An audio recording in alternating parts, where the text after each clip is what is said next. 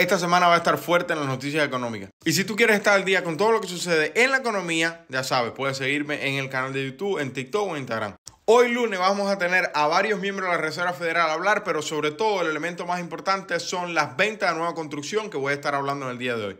Mañana martes van a ser las órdenes durables y de transporte, pero sobre todo las cosas más importantes, el índice de precio de Kate Schiller y la confianza del consumidor. El miércoles va a Christopher de la Reserva Federal y además de eso vamos a tener la Asociación de Banqueros Hipotecarios diciendo que fue lo sucedido la semana pasada.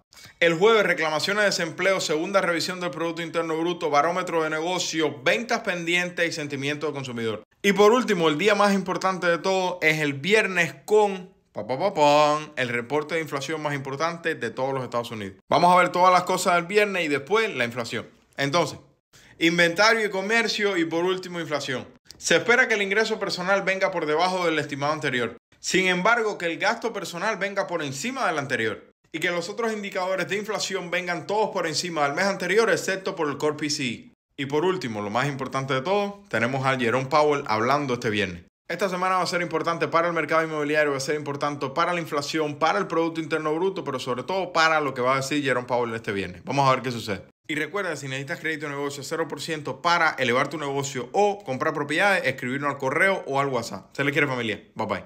Mercado inmobiliario, Producto Interno Bruto, inflación, Reserva Federal y todo economía esta semana.